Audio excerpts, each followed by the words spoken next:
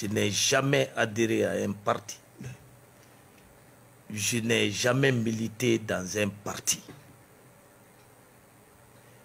Et, mais je considère que les hommes politiques et toute leur clientèle, des, des chefs de parti aux simples électeurs, ne représentent que 5% des Maliens.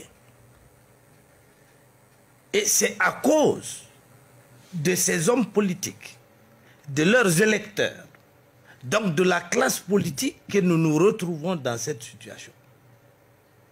Des élections bidons, la corruption à ciel ouvert, l'État qui disparaît, l'école qui disparaît, la sécurité qui disparaît. Mais c'est à travers ce processus démocratique bidon que le pays s'est effondré. Donc quand le pays s'effondre, qu'est-ce qu'il faut faire? Il faut le remettre sur pied. Et pour moi, dès le premier jour de la transition, moi j'ai demandé que la transition prenne un délai de trois ans. Quel risque nous courons finalement en allant à, cette prorogation? Merci. Avec euh, ta permission. Allez-y. qui comprennent, on est des collègues, donc je dis ta. Je suis vraiment étonné de voir mon grand frère, avocat, expert. Mon père, je peux le comprendre, c'est un homme politique, mais j'attendais beaucoup plus une analyse d'une casquette intellectuelle. Mais le devoir s'impose plus à Maître Konaré. Lui et moi, on est de la société civile. On parle du bilan d'une période, la transition, c'est une période. À vous entendre, c'est comme si quelqu'un venait nous dire que le bilan de Ibeka commençait par Tatamli. Et après Tatamli, non, par Moussa Mara. Après Moussa Mara, non, par Mouribo Keita. Après Mouribo Keita, non, par Abdoulaye Idrissa. Après, non, par Boubé. Après, non, par Boubou. On parle d'une période Personne ne peut effacer le 18 août. Vous avez posé la question, le bilan d'une période, la transition. Mais lorsqu'on veut substituer la période à un homme, à la nomination d'un homme à un poste, je suis désolé intellectuellement. La transition ne commence pas par X. Elle commence à un instant T, par un fait indélébile que personne ne peut effacer, le 18 août. Deuxièmement, il est facile de dire aujourd'hui que pendant neuf mois, le dieu Bandaou et autres, ce n'était pas Bandaou qui était à la tête du M5. J'ai jamais vu Mokhtar faire sortir le peuple, le M5. Le M5 aujourd'hui ne peut pas se dédouaner du bilan, puisqu'il revendique lui-même l'initiative et le gros du boulot du mouvement qui a été parachevé par les militaires. Et parce qu'ils n'ont pas eu ce travail préalable avant la mise en place du M5. Parce qu'il n'y avait aucun projet. On leur a dit, vous êtes dans un mouvement hétéroclite, non réfléchi, émotionnel, revanchard. Ce n'était pas intellectuellement conçu. Si c'était bien réfléchi, ils auraient su comment ils auraient euh, obtenu la, transition et comment ils auraient géré? Ils ont été surpris par les militaires. Comme tout mouvement de ce genre, ils réfléchissent, spontanés, mis en branle. Personne ne sait d'où ça vient. J'en suis un témoin. Maman Diko m'a dit chez lui. Il m'a dit, fiston, j'ai peur que quelqu'un devienne, de nulle part. Faire partie l'Ibeka dont on ne sait pas qui il est, sur qui on n'a aucun contrôle, quel est son objectif, c'est ce qui s'est passé. C'était l'une des craintes de Mahmoud Diko. Pendant un an, on en a discuté. C'était un mouvement non réfléchi, spontané. Des personnes qui n'avaient rien en commun que la haine, rien en commun que la chute de Ibeka. La preuve a été éclatée après leur échec. Quand vous dites qu'M5 n'était pas là-dedans, vous osez dire que Mahmoud Diko n'est pas du M5 Salia n'est pas du M5 Kaudjim n'est pas du M5 Noussar n'est pas du M5 Fomba ne sont pas du M5 Ceux qui ont rejoint, il s'agit de quelle tendance du M5 Est-ce que c'est la tendance Shogel ou Marou? Qui incarne le M5 seulement Peut-être le comité stratégique. Le comité stratégique, parlons-en là-bas. Salia était là-dedans Mais il n'était pas le chef. Est-ce que le comité se résume au chef? C'est la question que je te Sauf que le porte-parole du comité stratégique, c'était bien connu, c'était Chogal Kokala Maïga. C'était Chogal qui engageait le comité stratégique. C'est comme si tu me disais que l'équipe de, grands jurys se résume à toi. Ou si tu me disais que CDR se résume à Raspa. Sauf que j'ai la légitimité de porter la parole ah, du, grand jury. Nous, ce n'est pas le cas. Donc, ce n'est pas pour moi. Le M5 aujourd'hui, c'est facile de dire qu'on n'était pas au pouvoir. C'était le duo Mokhtarwan, Bandaou. Est-ce que c'est Mokhtarwan et Bandaou qui ont entamé le 5 juin? Est-ce que c'est eux qui étaient au boulevard le 12 juin? Non. Les militaires sont venus par suite de quoi? Par suite d'un mouvement enclenché par un groupe qui nous avait fait prétendre, fait savoir qu'ils ont un projet. Chogal l'a même dit sur le plateau. Mais ils n'ont pas vu venir les militaires. Et les militaires, ils arrivent. Ils choisissent qui ils veulent. Et vous voulez faire démarrer la transition à partir de Choguel Non, la transition est une question de période. Et si Choguel, sur 18 mois, après 10 mois, il estimait, le M5 estimait que 10 mois n'ont rien produit, ils auraient dû s'assumer de ne pas cautionner et entrer là-dedans. L'honnêteté voudrait qu'on reconnaisse aujourd'hui que ce coup d'État, si vous reconnaissez qu'il y a 10 mois de zéro, ça veut dire que le mouvement n'a reproduit que 10 mois de zéro. D'accord. Et comme vous l'avez dit, pour revenir à la question. En 30 secondes, hein? Proroger la transition. Oui. Moi, je me réfère à mes aînés. Lui, c'est mon père, c'est mon grand frère. D'accord. La transition par nature, par nature, est une question la plus courte période. D'accord. La transition, sa définition découle de sa nature, la courtesse de la durée, de sa mission uniquement rétablir la normalité. Et que fait-nous de la morale Mon père l'a dit. D'accord, on, on, va vous retourner la parole. La parole donnée vaut quoi? Le serment vaut quoi? Ok. En attendant, en attendant j'aimerais attirer l'attention du réalisateur sur le titrage du collectif pour la défense de la République. La République est un peu écorchée. Maître Konaré, quel risque nous courons en respectant le délai des 18 mois finalement? Euh, Mon cher ami, moi je parle pour le confort de ce pays.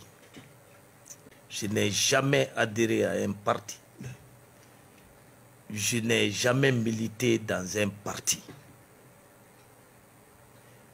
Et, mais je considère que les hommes politiques et toute leur clientèle, des, chefs de parti aux simples électeurs, ne représentent que 5% des Maliens. Et c'est à cause de ces hommes politiques, de leurs électeurs, donc de la classe politique que nous nous retrouvons dans cette situation. Une situation où nous avons un pays en faillite, qui ressemble à une vieille sotrama déglinguée, dont tous les ressorts sont pourris. Et il y a d'autres explications.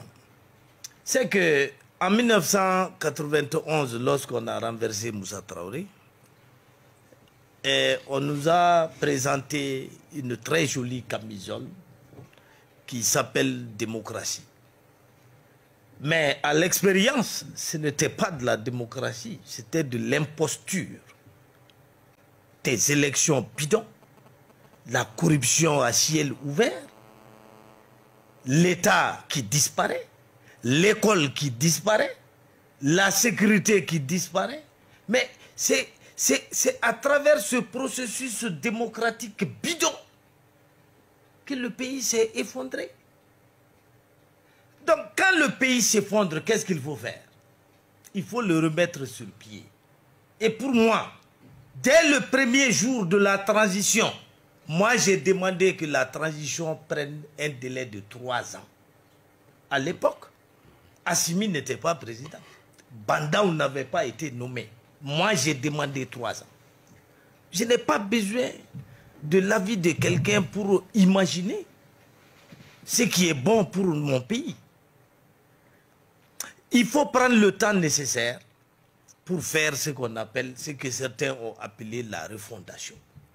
Moi, je n'ai pas parlé au départ d'assises nationales de refondation, mais je me suis toujours dit, bien avant, je l'ai même demandé, bien avant le dialogue national inclusif, j'avais dit que le Mali ne ferait jamais l'économie d'une nouvelle conférence nationale. Pourquoi? Parce qu'il faut redéfinir la notion de, de démocratie. Il faut redéfinir la notion d'État. Il faut redéfinir le concept de vivre ensemble des Maliens.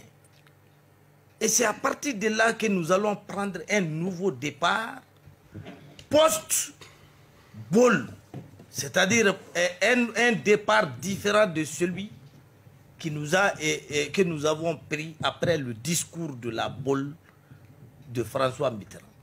Il nous faut réinventer la démocratie pour pouvoir la pratiquer. Parce que la démocratie dont nous avons hérité de la France est une démocratie bidon.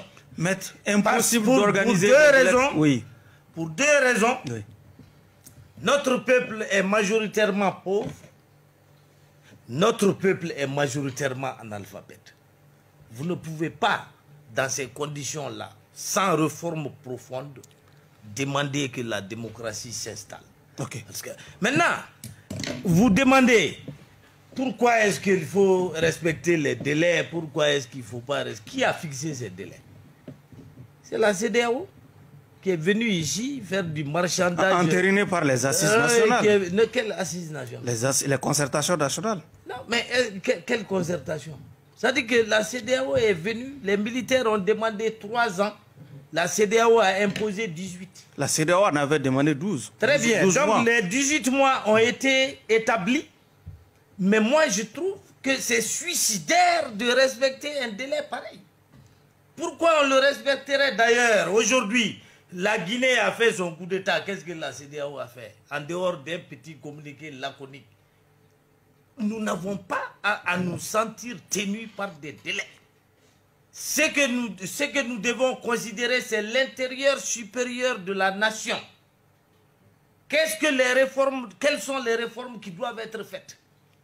Quel va, quel va être leur impact sur notre futur? D'accord. Et quel temps ça va prendre? C'est un nouveau temps qu'il faut renégocier. Ok. Pas nous plier eh, à ces délais fantaisistes de 18 mois fixés par la CDAO qui je vous le signale, n'a même plus la capacité d'imposer un embargo au Mali. Mais, euh, monsieur, Koïta, est-ce qu'il n'est pas paix objectif de demander à un gouvernement... Quel? Aller lever les fondations de... Oui, bien sûr. Vous savez, c'est ce que je dis. Aller comme ça, là. Oui. Tu vois, nous n'allons nous acheminer que vers un désastre. Tout se fait dans la présentation et le seul enjeu, c'est la prise de pouvoir pour tout le monde les gens se fichent de tout. Que cela se fasse dans des conditions paisibles, dans des conditions bien organisées, ainsi de suite. Mais les gens, ils se fichent. Pourvu qu'il y ait des élections et qu'ils prennent pas. Parce que chacun croit à son étoile.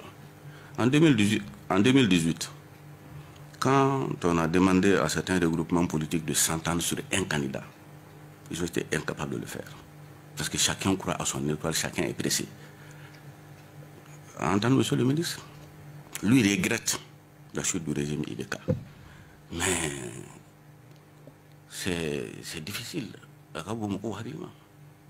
Comprenez, pour tout ce qui s'est passé pendant le régime IBK, dire que ce régime est tombé et qu'on n'a rien vu, rien ne s'est passé, moi, en tout cas, franchement, ça me dépasse. Qu'est-ce que nous gagnons en, prolongeant la transition? En prolongeant la transition. Il y a un certain nombre de choses. Les 18 mois étaient faits pourquoi Pourquoi la transition d'ailleurs. C'était pour forger un substrat vierge. À partir de quel? Lever les fondations on allait lever les fondations d'un Mali nouveau. Le Mali courant dont on parle. Il faut mettre tout à plat, il faut résoudre les problèmes. Je dis la constitution du 27 février 1992, il y a des tares. La loi électorale, il y a des tares. N'est-ce pas? Il faut relire, il faut repenser tout ça. Il faut apporter des actions correctives à tout ça pour que nous puissions nous entendre et aller dans des élections apaisées. Le fichier électoral, parlons-en. Quel est son état aujourd'hui? Les réfugiés qui sont en dehors, sont-ils enrôlés dedans, dedans? Les gens qui sont morts, on les a fait sortir du fichier électoral? Ceux qui ont eu l'âge de voter, est-ce qu'ils sont pris en compte dans le fichier électoral? Est-ce que tout cela est informatiquement résolu pour que tout le monde ait confiance à ça? Mais c'est ce travail qu'il faut faire.